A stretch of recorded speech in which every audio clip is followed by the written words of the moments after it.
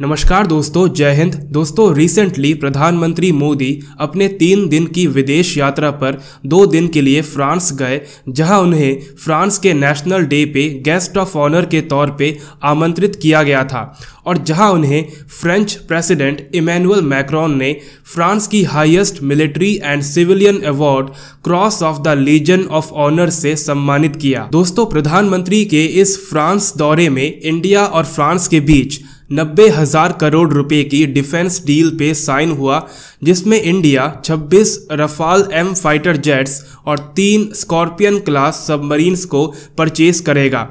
दोस्तों, इंडिया और फ्रांस के बीच हुआ ये अब तक का सबसे बड़ा डिफेंस डील है। दोस्तों, इंडिया और फ्रांस के बीच 1998 से चली आ रही स्ट्रेटेजिक पार्टनरशिप के 25 साल पूरे हो चुके हैं, जिसमें इंडिया और फ्रांस के बायोलेटरल रिलेशंस में स्पेस और न्यूक्लियर के साथ साथ डिफेंस कोऑपरेशन ने भी एक बेसिक पिलर की तरह काम किया है। मगर दोस्तों, अगर आप 1998 से लेकर 2021 तक इंडिया और फ्रांस के बीच डिफेंस डिफेंस कोऑपरेशन के टाइमलाइन को देखो तो 1998 से लेकर 2012 तक कुछ ज़्यादा खास नहीं किया गया, सिवाय 2003 में मिराज 2000 फाइटर जेट्स खरीदने के। और मिराज 2000 फाइटर जेट्स आज की टेक्नोलॉजी के हिसाब से एकदम आउटडेटेड हो चुका है। दोस्तों, सही मायने में अगर देखा जाए तो इंडिया और फ्रांस की डिफेंस पार्टनरशिप असल में 2015 से शुरू हुई है। 2015 से हमारे और फ्रांस के बीच सही मायने में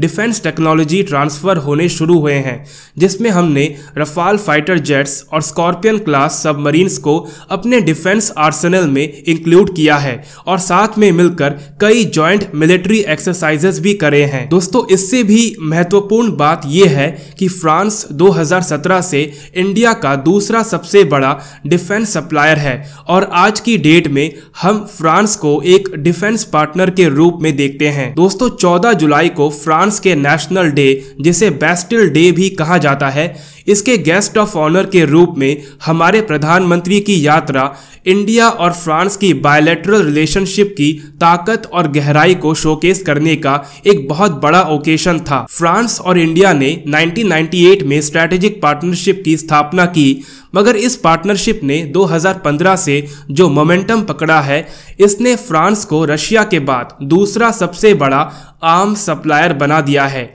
प्रधानमंत्री की ये यात्रा आने वाले समय में डिफेंस, स्पेस और न्यूक्लियर टेक्नोलॉजी के फ़ील्ड में कई अपॉर्चुनिटीज़ पैदा करेंगी। दोस्तों, ध्यान देने वाली बात यह है कि आज की डेट में मोदी और मैक्रॉन की लीडरशिप में इंडिया और फ्रांस जिस स्ट्रैटेजिक ऑटोनॉमी को फॉलो कर रहे हैं, अपने से पहले के लीडर्स की तरह मोदी और मैक्रॉन ने कोल्ड वॉर जैसे ब्लॉक कंपटीशन से खुद को दूर रखा है और जो मेजर पावर्स हैं, उनके ऊपर ओवरली डिपेंडेंट होने के बजाय, उनके साथ मज़बूत रिलेशंस बनाने में कामयाबी हासिल की है। दोस्तों, आज से 70 साल पहले की तुलना में इंडिया और फ्रांस कलेक्टिव डिफेंस और सिक्योरिटी फ्रेमवर्क्स के मामले में ज़्यादा इंटीग्रेटेड हैं और जिस तरह से किसी मिलिट्री अलायंस में शामिल होने से मोदी ने विरोध किया, ठीक उसी तरह से मैक्रॉन ने भी नेटो को लेकर काफ़ी आलोचनाएँ करते आए हैं। इन्होंने एक बार यूरोप को चेतावनी देते हुए ये तक कह दिया